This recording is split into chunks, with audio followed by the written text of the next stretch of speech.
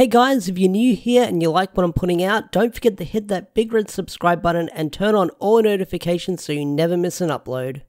So, a while ago, I made a theory or a predictions video where I talked about Power Rangers versus Eltar, and I talked about Zardius being the final boss of the arc, uh, Power Rangers facing off against Eltar, and my theory kind of sort of came true, although we have yet to see the Power Rangers versus the Eltarians. But recently, in Mighty Morphin issue 11, we were introduced to the Sentry Force 4, an elite team of warriors from the planet Eltar who are meant for battle. So, no doubt about it, if we're gearing towards this Eltarian War storyline, we're definitely going to see the Mighty Morphin Power Rangers versus the Sentry Force 4. And I'm a huge fan of shonen battle manga. Dragon Ball, Bleach, One Piece, Hunter Hunter, you name it. I love a good shonen anime with a lot of fights.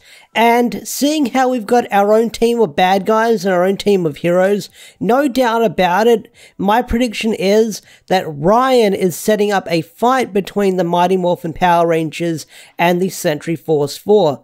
But who is going to face who? Because if this is going to be sort of like the Straw Hat Pirates versus CP9 or the Straw Hat Pirates versus the um, Tobiropo, no doubt about it, we're going to have pairing fights in this comic. And that would be really cool. So who is going to fight who in this comic? And rereading issue 11 of Mighty Morphin, you can probably guess that the characters who interacted with each other are the ones who are definitely going to be fighting each other in the climax of this arc. So you're going to have Adam facing off against Zag, you're going to have Kimberly facing off against Zenith, you're going to have Aisha facing off against Zero Zero, and Rocky fighting Zeta. And Rocky does make sense because Rocky has the power sword, Zeta has swords. Uh, Kimberly against uh, Zenith makes a lot of sense sense because that is a wasp like character that flies in the air, and Kimberly has a bow and arrow, so it's all about accuracy and making the mark. And I don't know how Aisha is going to fare against Zero Zero, that being a big mech, but Aisha is really smart in battle in the comics, so no doubt about it, she can come up with a strategy against this opponent. And Adam, well, I don't know how Adam is going to face off against Zag. I guess it's going to be strategy and knowing where they're going to land when they fight. So we've got some very interesting matchups in this comic. Now, of course, no doubt about it, Tommy Oliver your boy is definitely going to fight Zardius or Zardius. But no doubt about it, Matt is probably going to get involved, and it's going to have Matt and Tommy coming together and facing off against Zardius. They're going to put their differences aside and fight this alien invader. And that would be really cool to see. And I'm hoping, I'm hoping, hoping, hoping that Lord Zedd gets involved because the enemy of my enemy is my friend, that old saying. So, so once Lord Zedd finds out that Zardius is the one that betrayed him and made him from Zolfram to Lord Zedd. No doubt about it, Lord Zedd will put his differences aside with the Rangers for this one fight that put his attempted murderer in the ground and maybe sort of squish beefs with Zordon. I'm not entirely sure.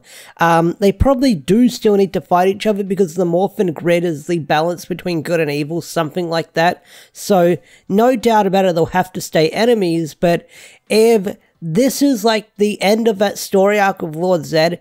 I can see the whole Eltarian War ending, and Master Vile is the next antagonist for the next big story arc with how the comics play out and stuff like that. I've seen a theory and a prediction going around. Maybe this Eltarian War is going to lead into the Rangers getting the ninja powers or the Zeo powers. That would be really cool, but that means the Rangers would have to have a big setback for them to go on a ninja quest and get the powers from Ninjor.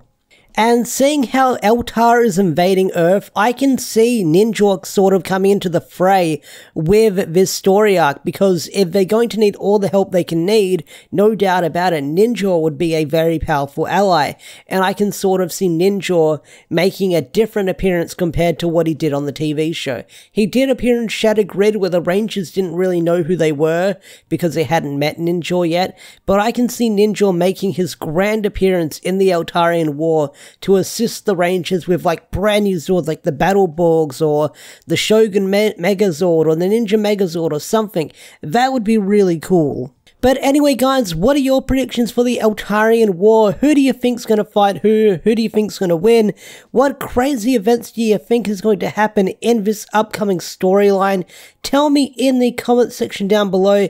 I'd love to hear your thoughts. I'd love to hear your theories. With that said, I'm going to bring this video to a close. Special thanks to all the members such as Swagger4 and Andrew McCoyle. If you want to, you know, shout it out like these guys over here, join the Patreon or become a YouTube member so you can have your name in the credits of every video or shout it out like I just did for these guys over here.